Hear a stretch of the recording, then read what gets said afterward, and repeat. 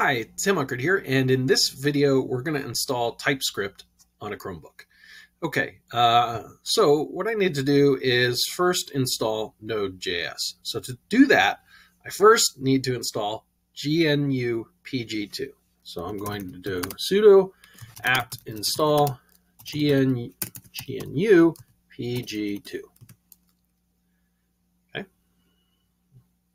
that'll go ahead and install.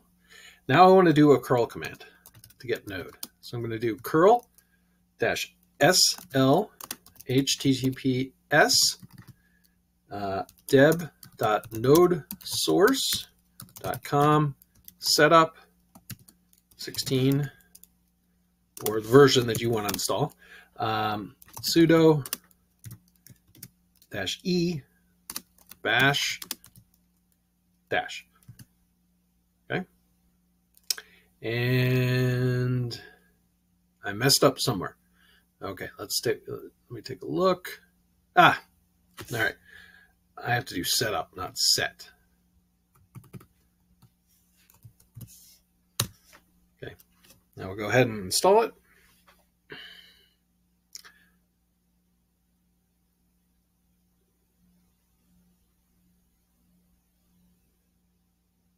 Okay, now to install Node.js, I want to do sudo apt get install dash y node.js, which you can see right here.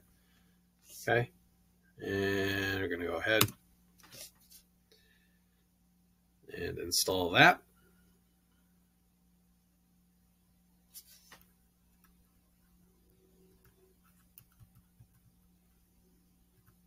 Okay, so now I'm going to go and install TypeScript.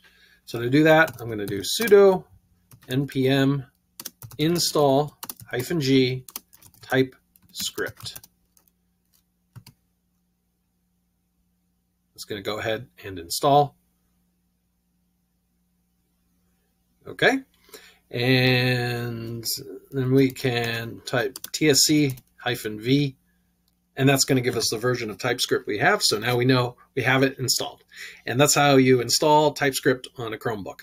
I hope this video was helpful. Thank you for watching. If you enjoy this video, please uh, like and subscribe and really hit that like button.